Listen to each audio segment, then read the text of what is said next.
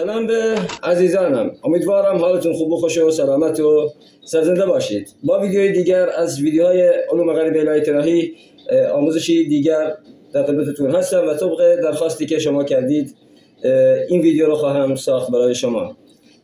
و این انگشتر از یکی از عزیزترین کسانی هستند هست که تو عمرم داشتن.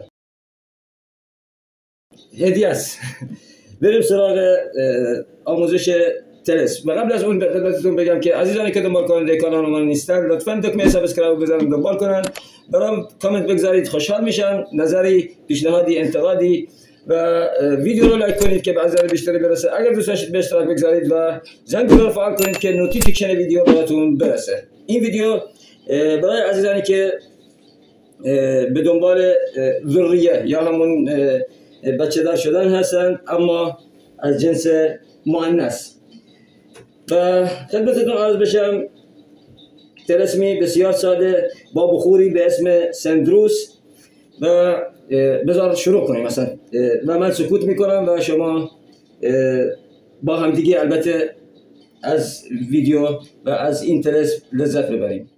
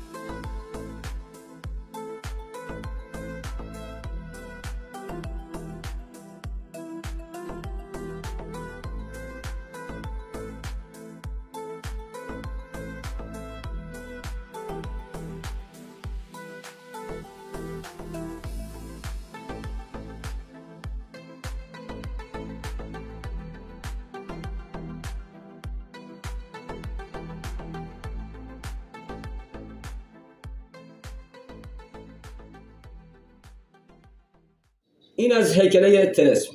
تلسمی در حد متعادل نمیگم کلا قدرتمند 100 درصد و من هیچ وقت 100 درصد نمیگم شما که می‌دونید. تلسمی قدرتمند در حد 70 درصدی جواب داده پتانسیل 70 درصد جواب دادن رو داره.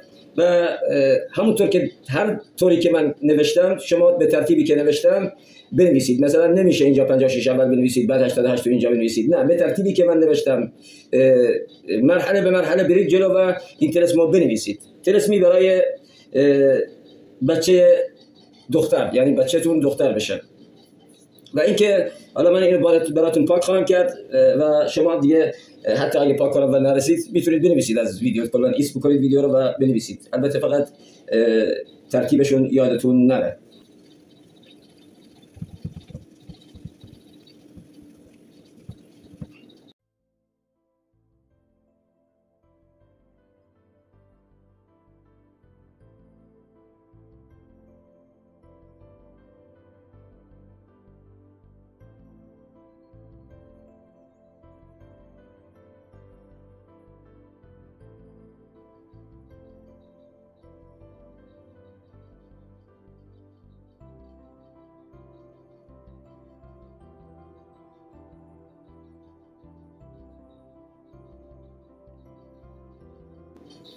دعوتكم بهذا المكتوب وطلب من فلانة بنت فلانة. مع زوجها. حالا اگر أون شخص اگر أون شخص که براتون مراجعه کرد مرد بود. اینجا می‌نویسید فلان بن فلان مع زوجته. زوجته. زوجته اینجوری می‌تونید بنویسیدش